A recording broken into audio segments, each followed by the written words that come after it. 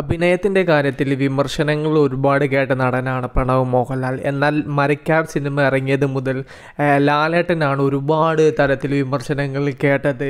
അഭിനയത്തിന്റെ കാര്യത്തിലാണെങ്കിലും അതുപോലെ തന്നെ ഡബ്ബിങ്ങിന്റെ കാര്യത്തിലാണെങ്കിലും ഒരുപാട് വിമർശനങ്ങളാണ് ലാലേട്ടനെ തേടിയെത്തിയത്. എന്നാൽ പ്രണവ് മോഹൻലാലിന് മരക്കാർ സിനിമയിലെ പ്രകടനത്തിന് നല്ല അഭിപ്രായങ്ങളാണ് കേട്ടത്. അതുപോലെ തന്നെ ഈ സിനിമയിൽ കുഞ്ഞാലി മരക്കാറായിട്ട് ഉടനീളം നമുക്ക് കാണാൻ പറ്റുന്നതും പ്രണവ് മോഹൻലാലിനെ ആയിരുന്നു ഈ ഒരു പോർഷൻ മൊത്തമായിട്ട് അല്ലെങ്കിൽ മരിക്കാർ സിനിമ മൊത്തമായിട്ട് ചെയ്യുകയാണെങ്കിൽ പ്രണവ് മോഹൻലാൽ മതിയായിരുന്നു ലാലേട്ടൻ ആവശ്യമില്ലായിരുന്നു. ഇപ്പോഴും മരിക്കാർ സിനിമ എന്ന് പറയുന്ന സമയത്ത് നമുക്ക് പ്രണവ് മോഹൻലാലിനെയാണ് മനസ്സിലേക്ക് വരുന്നത്. ഇപ്പോൾ ദാ ഹൃദയം സിനിമ തിയേറ്ററിൽ നല്ല രീതിയിൽ ഓടിക്കൊണ്ടിരിക്കുകയാണ്. ഇതിലെ പ്രണവിന്റെ പ്രകടനം മികച്ചത് എന്നാണ് എല്ലാവരും അഭിപ്രായപ്പെടുന്നത്.